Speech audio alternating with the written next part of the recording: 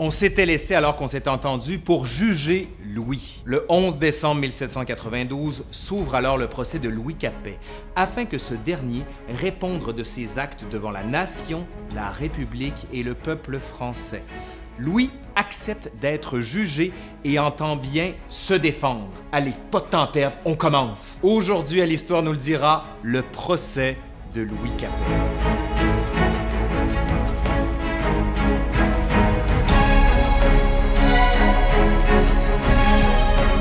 Fait face à 11 chefs d'accusation, dont celui d'avoir tenté d'empêcher la réunion des États généraux et par là avoir attenté à la liberté et d'avoir ordonné le stockage de grains, de sucre et de café, d'avoir passé une entente avec Léopold II et le roi de Prusse pour rétablir la monarchie française et d'avoir mis son veto contre les prêtres réfractaires. Beaucoup d'accusations, donc. Ah oui. À chacune des accusations, Louis se rebiffe et entend bien faire peser ses arguments. Il sait que les dés sont jetés et qu'il ne peut rien faire pour éloigner son funeste sort.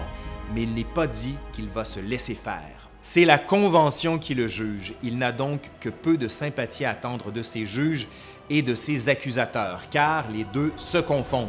Le 15 janvier, la Convention déclare Louis Capet coupable de conspiration contre la liberté publique par 691 oui et aucun non. L'appel nominal sur la peine commence le lendemain à 20 heures, dans une atmosphère tendue et sous la pression des tribunes. Quatre questions sont posées. La première, Louis Capet est-il coupable de conspiration contre la liberté publique et d'attentat contre la sûreté générale de l'État? Oui ou non? Ont répondu simplement oui 673. La deuxième question, le jugement de la Convention nationale contre Louis Capet sera-t-il soumis à la ratification du peuple? Oui ou non? Le non l'emporte avec 423 voix. La troisième est la plus importante. Et souvenons-nous que la majorité est de 361. La troisième question, donc, quelle peine sera infligée à Louis? Ont voté pour la mort sans condition 361. Quand on dit que chaque vote compte. Toutefois, la quatrième question peut encore repousser la mort de Louis. Question, y aura-t-il un sursis à l'exécution du jugement de Louis Capet? Oui ou non? 380 voix font peser un lourd non et condamnent Louis à la guillotine. Une légende tenace entoure la conception de la guillotine, celle voulant que son concepteur, Joseph Ignace Guillotin, aurait demandé les conseils du roi pour la réalisation de sa fameuse guillotine. Rien n'est plus faux. Il est également faux de penser que Louis XVI a été le premier à être décapité par la guillotine, car le 25 avril 1792, sur la place du Carrousel à Paris, le voleur de grand chemin Nicolas Jacques Pelletier est le premier condamné à mort et qui est guillotiné. Pourtant, il est vrai de dire que les révolutionnaires ont considéré l'objet comme une forme d'avancement pour l'humanité. À l'époque, les exécutions publiques pouvaient être particulièrement cruel et mal se passer hein. si un bourreau n'arrivait pas à rompre les membres ou le cou d'un seul coup d'épée, ben, ce dernier pouvait être poursuivi en justice pour avoir infligé des souffrances non prévues dans la sentence d'exécution. Ainsi, on retrouve une infinité de manières d'exécuter, de la roue en passant par le feu pour en arriver à la décapitation qui se décline selon la catégorie sociale à laquelle on appartient. Je ne saurais trop vous recommander le livre de Pascal Bastien pour en connaître plus sur le sujet. La guillotine apparaît donc comme une forme d'égalité dans la mort pour tous les citoyens. Son concepteur, M.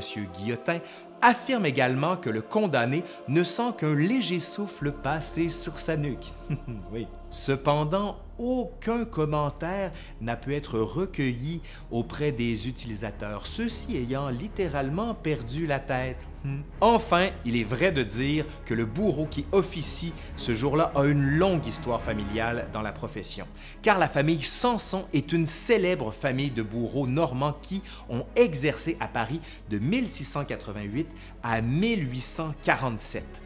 Quand la Révolution éclate, Charles-Henri Sanson, qui a alors 50 ans, suit le mouvement sans y participer, mais acquiert le titre de citoyen en 1789.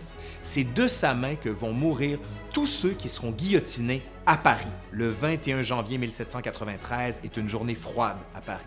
Il est de ces hivers où le soleil est voilé par un ciel gris qui rend l'atmosphère morose, noire et glaciale. L'hiver 1793 est de ceux-là. Louis, au matin, est enfermé dans sa cellule au temple. Il prie pour le salut de son âme et se prépare à rencontrer son Créateur. Quand les officiers viennent le chercher, il est résigné, mais son corps refuse encore de suivre l'abattement de son esprit. Il se cabre et refuse d'avancer. D'un solide coup d'épaule, on donne à Louis l'impulsion nécessaire pour le mettre en mouvement. On arrive à la place de la Révolution, aujourd'hui place de la Concorde. D'un côté, Louis aperçoit le jardin des Tuileries et de l'autre, les Champs-Élysées. Il entend soudain un bruit sourd et reçoit dans les oreilles un mur de sons sous forme de cris, de hurlements et d'insultes qui vient le happer, lui faisant accuser le coup. Louis, dans le tombereau qui l'emmène, recule la poitrine et baisse les cieux. Il voit la foule, ici, là, partout, il ne voit qu'une masse informe de bouches, de poings et de yeux. Les invectives ne le touchent plus. Il a repris conscience de son environnement et descend du tombeau. Il se présente maintenant en chemise, lève les yeux et aperçoit la grande veuve, celle qui le libérera un peu de toute cette pression qui s'accumule dans sa tête. Il fait un pas, mais sent dans son dos qu'on lui lie les mains. Il monte les marches vers l'échafaud mais arrive sur la plateforme où la guillotine le voisine. Il se rebiffe et décide de s'exprimer à la foule. Plus question de laisser interpréter ses silences. Il dit Je meurs, innocent de tous les crimes dont on m'accuse.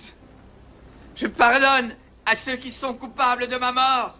Et je prie Dieu pour que le sang que vous allez répandre ne retombe jamais sur la France on fait rouler les tambours pour enterrer sa voix et d'un autre coup d'épaule, on le remet en selle pour qu'il ait les yeux rivés sur la guillotine. Sa voix se casse et ses paroles se perdent. On le lie à une planche de bois. Il sent des échardes sur lui qui lui pénètrent la peau. Puis, ce sont les cordes qui viennent au torse et aux jambes, le fixer définitivement à son dernier point de contact sur cette terre. On pousse la planche. Avec Louis dessus, devant une autre planche flanquée d'une ouverture en cercle où l'on dépose le coup de Louis. Il est 10h24. En quelques secondes, on descend une planche similaire vers le haut du cou et Samson tire le levier qui laisse tomber une lame qui vient trancher la tête de Louis et la déposer quelques centimètres plus bas dans un panier d'osier. Samson se saisit de la tête en l'attrapant par les cheveux et la montre au peuple.